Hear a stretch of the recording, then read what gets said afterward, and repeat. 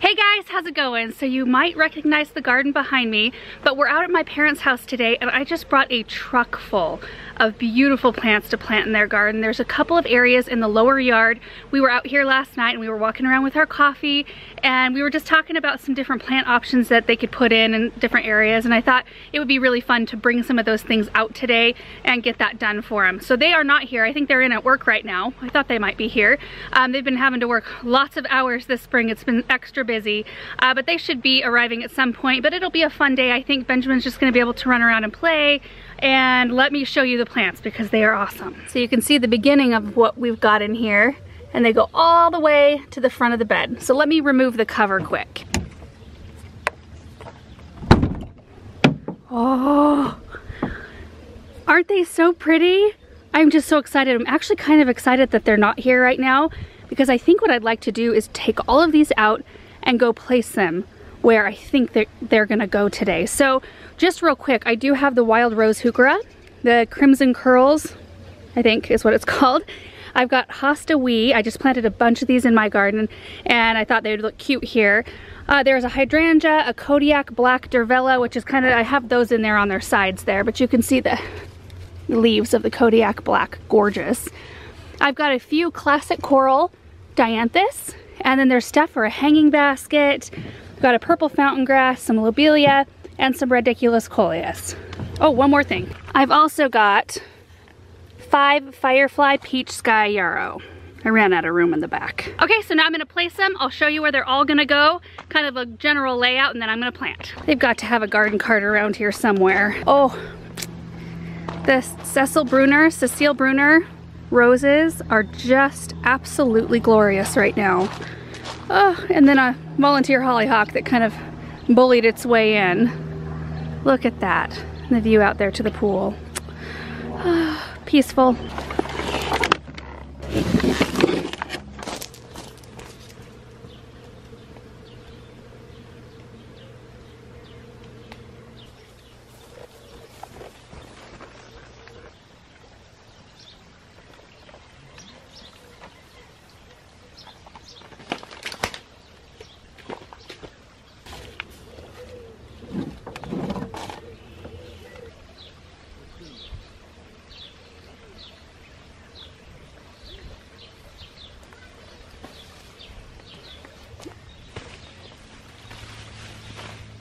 Oh, Aaron, look at this. Just look at that layering with the wild rose right there. Oh, looks really nice. Isn't that pretty? And then cherry truffles. I think I called it crimson curls when I was telling everybody what oh. was in the truck. And then uh, wee hostas. Nice. Looks really good. And then down here, over here, Aaron, okay. I will show you. Come here, baby. Let's take a look at this area over here. This one's in more sun. So I have a little quick fire hydrangea right there. Uh-huh. And then three classic coral dianthus. Cute face. You need your sunglasses, huh? And there's a Kodiak Black Diervilla, which I think is going to get too big for that spot, so we'll move it somewhere Kodiak else. black? Yeah. Is that different from the orange? Yeah, so the leaves are more dark. Huh. The Kodiak orange, they're more orange. Hmm. Just have a few more things in the truck. All right, so now I'm trying to find a spot for the Kodiak Black Diervilla. Oh, cute. Benjamin was out here playing last night. We gotta find a sunny spot. It's pretty sunny out here. This is all really full. Hmm. This one may end up going back home with me. Everything's placed, not planted yet. I wanted to show you kind of how I have them laid out before I get them in the ground and I'll also show you my pile of supplies I brought out. As I go through these flower beds though, really look at the different plants that are already here. I mean, there were some holes we were filling, but there's still a lot of mature, beautiful things that have filled in and the colors and textures are just on point. They're so beautiful and it's just, it goes to show how important it is to really think about those things in your flower bed. So like the next time you go out into your garden, really assess what colors and textures you've got going and like see if you need a grassy texture somewhere or if you need a little pop of yellow or some contrasting blue next to next to some red something like that um, it's just kind of fun to see how other people have done it in their gardens and so forth. So let's look at the plants. Gonna be pretty comfortable planting this afternoon. Most of it's in the shade. So the first area here is notoriously hard to plant in, right underneath this massive blue spruce tree. But see to the left here, we've got some beautiful white lamium and then a spirea. It's got kind of a yellow tint and then a red Japanese maple right above it. and then your blue spruce. Color and texture right there. There are some Patriot hostas that have been here as long as I can remember, to be honest. Like, I think they were here when I was a kid or something similar. But I'm gonna backplant those with the Ridiculous Coleus because this is a ColorBlaze Coleus that can do both sun and shade. So I think that it'll be beautiful to have them backing these bright Patriot hostas. And then they've got a begonia basket on this pedestal, which they usually get so full you end up not seeing the basket by the end of the season. And then back behind, look at that birch tree. Isn't that the most spectacular form? Like it was once staked, well it is staked, and this tree has grown around the stake. See this? Ooh, there's a spider. Ooh, there's a spider on me. Hold on. Ah, got it. I should be careful coming underneath this canopy. But the canopy goes way down the orchard wall. See the orchard rock wall goes down into that area there and it just provides like this little fairyland under here almost like a little hideaway spot and the canopy comes down right here so I had a couple of wild rose heucheras I brought five out three of which are going to be right down here but I only had room for three two will be perfect here I might at some point bring a third out and just pop it right back behind so we've got a trio but either way I don't think it matters I think it looks really pretty this is a ranunculus isn't that beautiful I'm actually gonna dig some of these, I think, today and take them home. I did that in our last garden and I had the most beautiful little patch of them. And I really want to have these in our garden. And then moving down, there are some geraniums here, which are fairly shade tolerant. You can see there's a little tiny patch of sun right here. And this area, if you look up above, I don't know how well you can see, there's just one little hole for the sun to come through. And so this whole area gets about one to two hours of sun per day. That's why I chose the plants I did. Those are the th other three wild rose heucheras. Isn't that gorgeous? Like without those, I think it would look really, it just looks like it needs it. It needs that punch of color. Um, there are some asters back behind, geraniums on either side. So the heucheras, and then we've got some Laguna Sky Blue Lobelia, which I've never planted this particular variety in the ground. So I think that this will be fun to try out. Lobelia usually does fairly well out here. In fact, they had it planted, I helped plant it in this flower bed for a tour one year. And then right here we've got cherry truffles heuchera and wee hostas, which I love them together. We've got like a nice little hedge of both of them that end right by the lions that Benjamin and his cousins love to come down and pet like over and over again. But this is kind of an interesting situation because I'm dealing with some kind of awkward height things. So Wee hosta at maturity grows 11 to 18 inches tall. The cherry truffles heuchera grows 8 to 10 inches tall, the leaf canopy, but if you take into account how tall the bloom stalks are, you would naturally want to put those back behind the hostas because when they're blooming they're gonna be taller.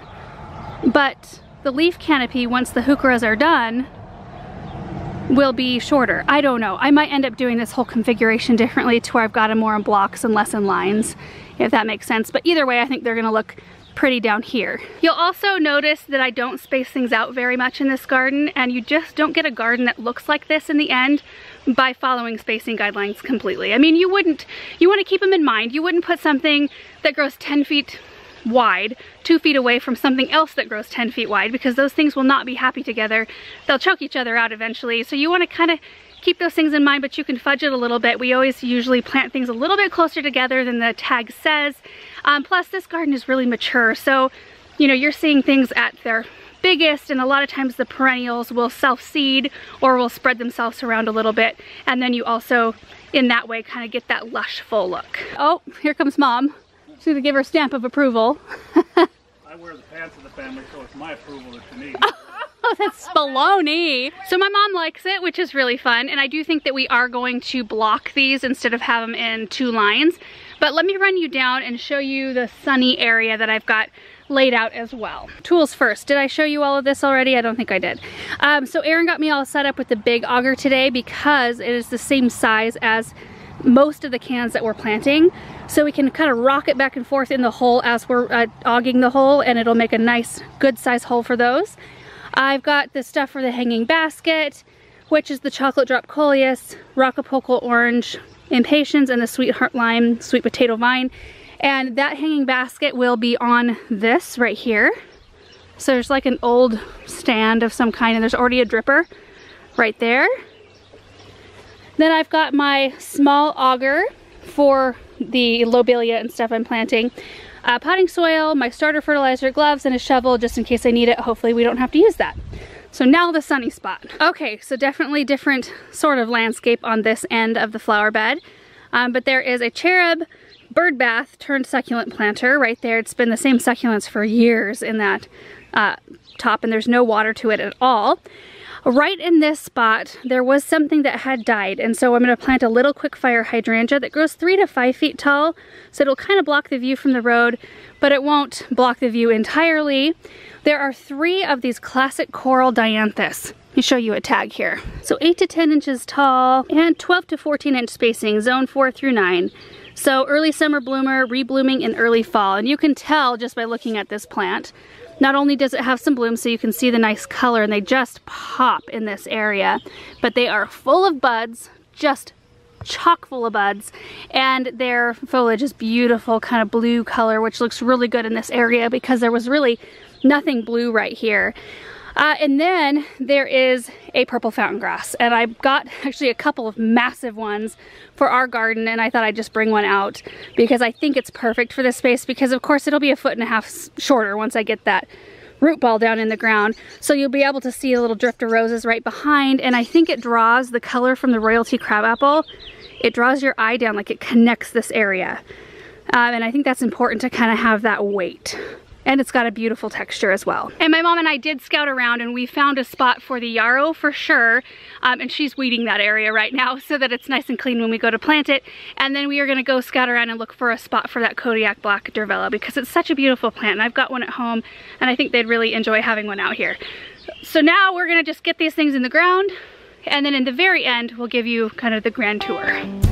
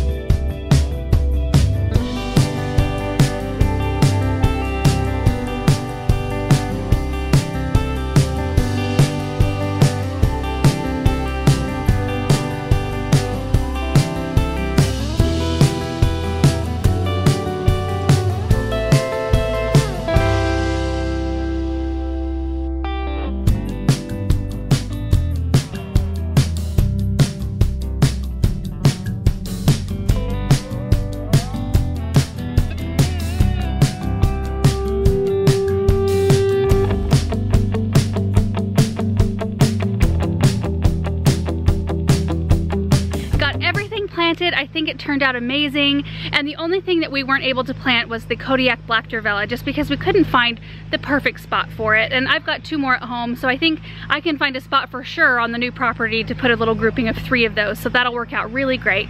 But now I wanna give you a tour of this whole flower bed area. I think it looks just so pretty. The neighbor is mowing his pasture over there. So I hope it's not too loud. I think he's kind of moving away from us though.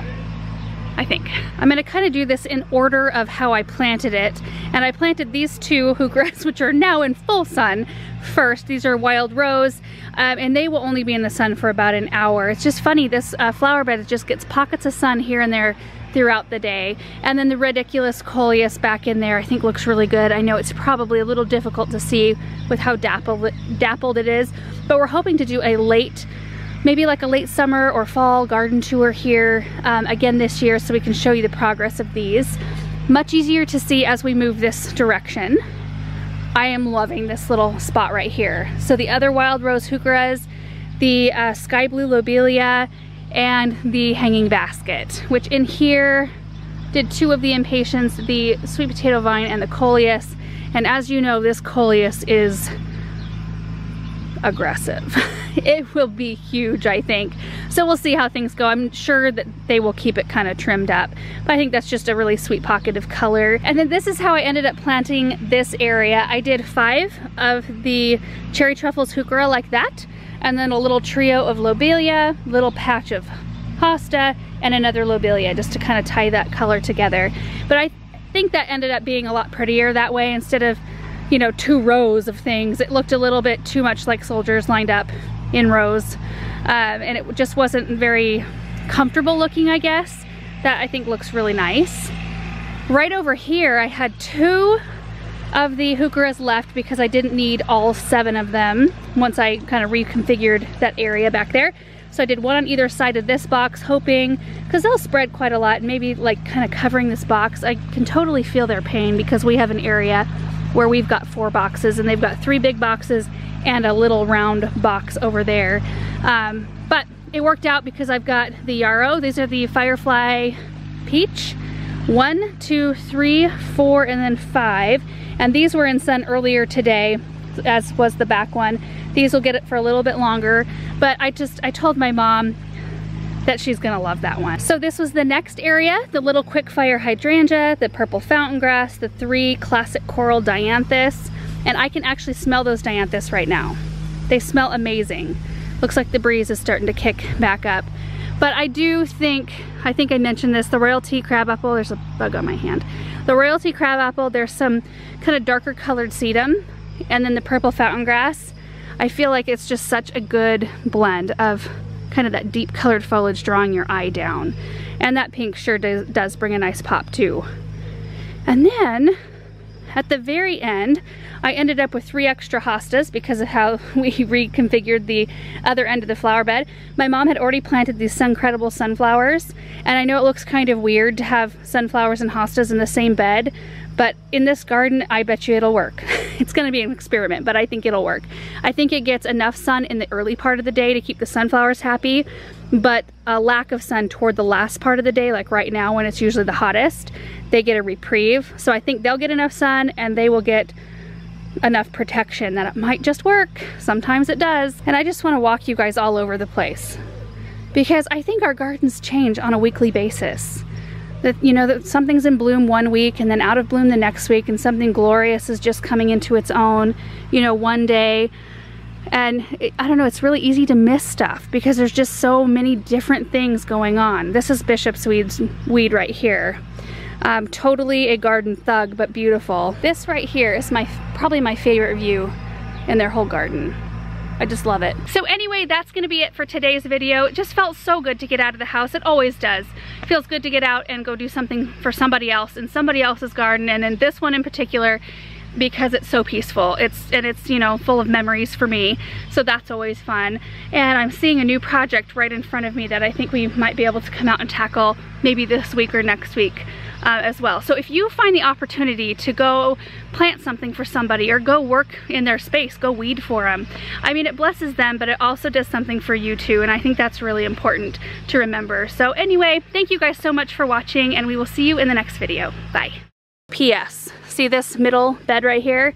They're about ready to take out this lavender because it's looking a bit long in the tooth. Look at that. I think I got something we can put there different project for a different day.